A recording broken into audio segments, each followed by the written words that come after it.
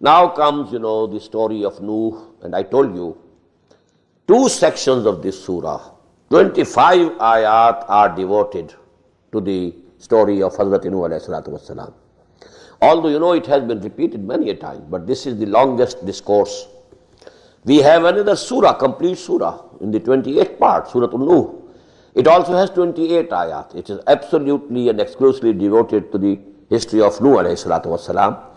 But the, you know, counterpart, you can say, is this place in the Quran where, you know, this has been discussed in detail. And we had sent Nuh to his nation. Now note, nation. Whole of the nation. Nation as a whole. Inni lakum nadhirum mubin. And he said, we, I am for you a clear warner. Allah ta'budu illallah. And you know, the message is that you don't worship anything, anyone except Allah. Inni akhafu alaykum azaba yawmin alim. I fear on you the chastisement of a very big day, very mighty day. فقال الملأ الذين كفروا من قومه So replied the chiefs of his nation who had who had disbelieved him. ما نراك إلا بشرا مثلنا. We don't see you except you are also a human being, you are also a mortal like us. And we don't see that anybody had followed you except those who are meanest. Apparently, most apparently the meanest of our, our slaves, our servants. Some of those have gathered round you. No, none of the noble, the nobility, none of the aristocracy, none of the wealthy people. Nobody has, you know, accepted your, your dawah and accepted you as the messenger of Allah, except, you know, some people, you know, who belong to the lowest status of our society. Most apparently, they, you, we can see that they belong to the lowest strata of our society. And we don't see that there is any superiority, in you or them over us. If it's the truth which you are presenting, then Allah subhanahu wa ta'ala should have made you superior to us in wealth also, in position also, in you know in this hierarchy of the tribe also. But we don't find. You are not from among the chiefs, you are not from among the wealthiest people of the tribe.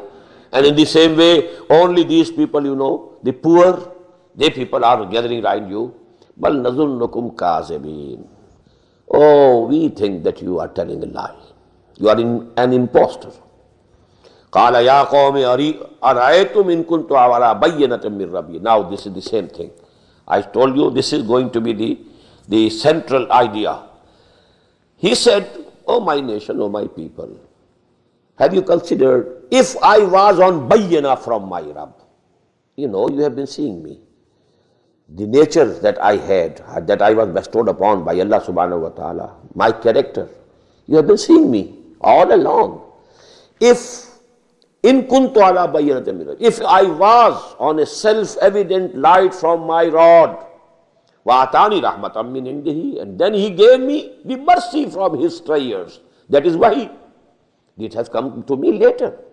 For 40 years there was no wahi to Muhammad sallallahu alaihi wasallam. He was on the bayyana from his Lord, right from his birth.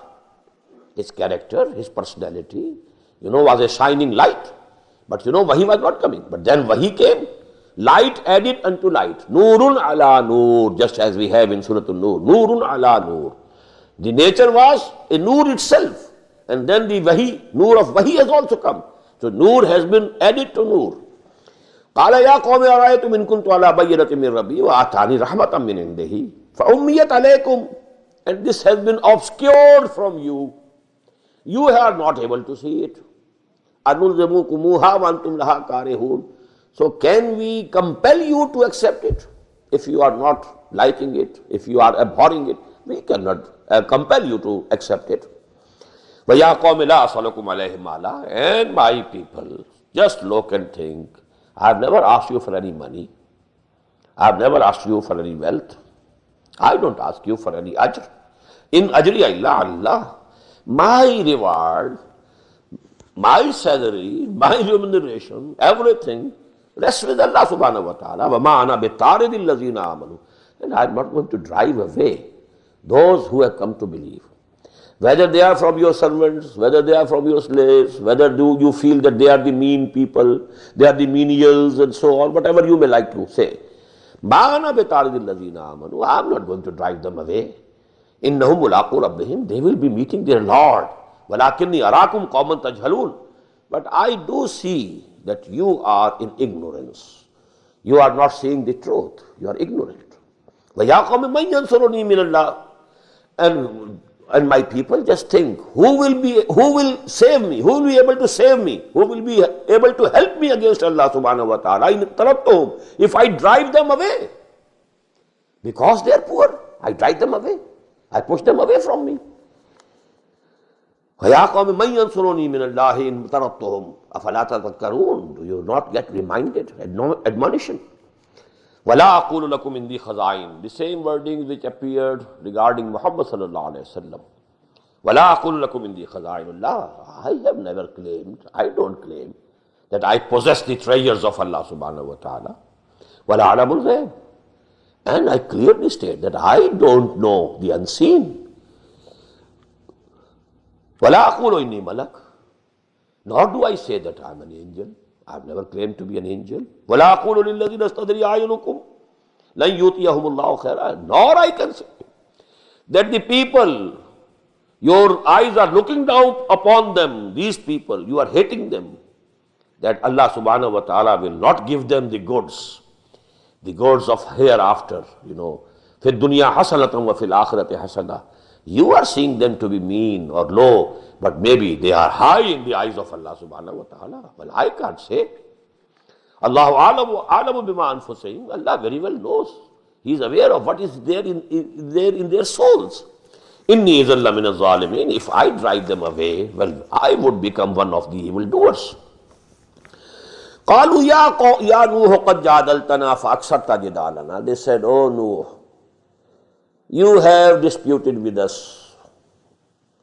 you have argued with us. And you have gained a lot in this dispute.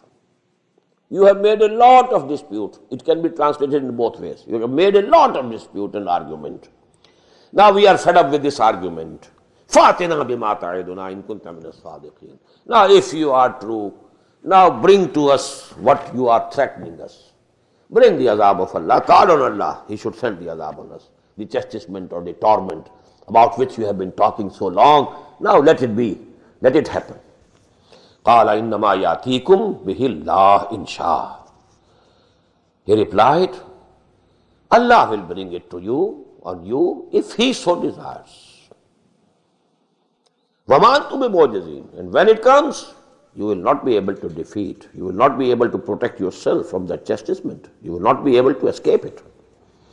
وَلَا يَنْفَعُكُمْ نُصْحِي إِنْ أَرَدْتُ أَنْ أَنْصَحَ And I know that my sincere counseling and advice will be of no avail to you, even if I sincerely want for you that you be saved. وَلَا يَنْفَعُكُمْ نُصْحِي إِنْ أَرَدْتُ أَنْ أَنْصَحَ إِنْ كَانَ اللَّهُ يُرِيدُ أَنْ يُغْوِيَكُمْ If Allah has decided that to, he, he has to lead you astray. He has put a seal on your fate. He has set the seals on your heart that I can't do it. Who are Abu Rabbukum, He is your Lord. Wa ilahi and to, to Him you will be returned. Am yakunun aftarah. Are they saying that He has concocted these things? Now here He means Muhammad sallallahu alayhi wa. In the midst of this discourse, discussing the events of Hazrat Nuh, and what was going on between him and his people, now in, in the, between them, there is reference to Muhammad sallallahu alaihi wasallam. Am yakulun aftara? Now these things which we are revealing to you, O Muhammad, do they say that you have forged them? قُولِ إِفْتَرَيْتُهُ فَعَلَيَّ إِرَامِ Say to them, if I have concocted these things, forged these things, these ayat, فَعَلَيَّ إِرَامِ So on me will be my guilt. My crime will be on me. Vana mimma tujremun. But likewise, I am absolutely unanswerable for your guilt, what you are doing. If what I am saying is correct, it is from Allah and you are rejecting. Well, you will be repaid, you will be rewarded, you will be recompensed. If, for the sake of argument, if I am doing this thing wrong, then I will have to face the consequences.